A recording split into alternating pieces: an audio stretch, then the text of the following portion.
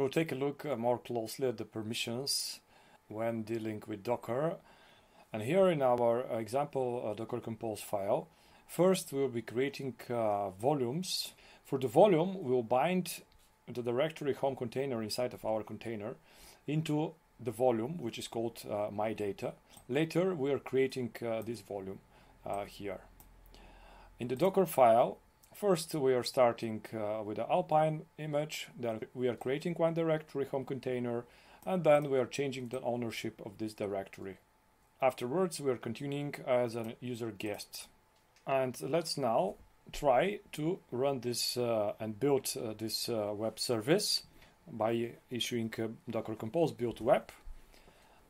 And the next thing we'll do is uh, to run uh, a shell inside of this container. This will do in order to see the uh, group and user ownership inside of the files of the container. So we'll type docker compose run, then we'll remove this container, it's a temporary one, and for this web service, inside of this container, we'll run a shell. As we saw, automatically Docker creates uh, the first time it's used this uh, uh, permanent uh, volume, which is called permissions my data. And now inside we see that uh, everything is owned by root and we can go to home directory. Inside uh, we see that we have uh, our container and it's owned by the guest user. If we type ID we see actually we are guests with the following 405 ID. The explanation why this container directory is created with the ID of 405 is because we change the ownership at the stage of creating our container. Inside of the container, our guest user is having the following UID, and uh, this means that we can uh, create files inside of this folder.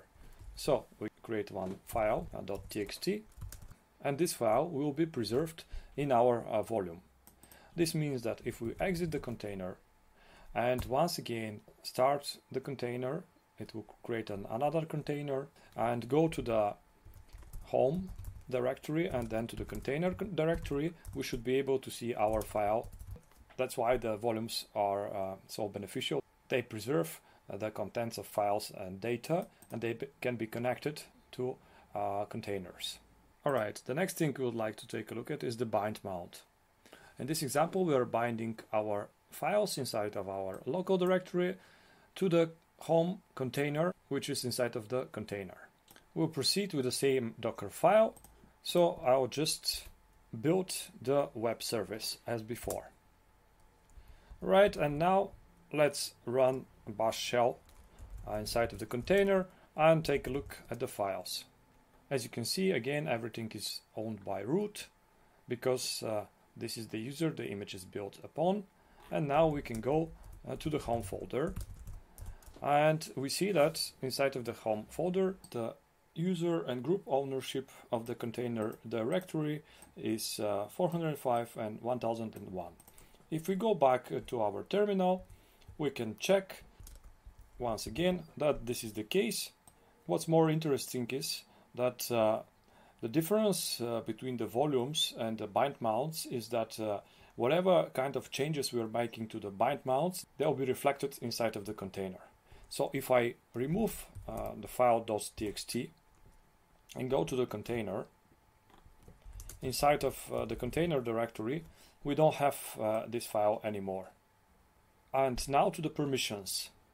We can choose to change the permissions directly inside of the container or beforehand to set up the permissions inside of our local directory.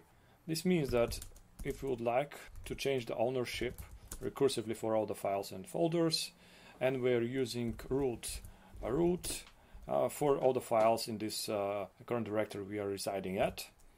And now we see that they are owned by root and root because uh, this is the identifier of zero uh, for this user. This automatically now will reflect the visibility of the files inside of our container. If I go to the container now and type ls minus n, we see the changes are reflected. And if I try to create one file,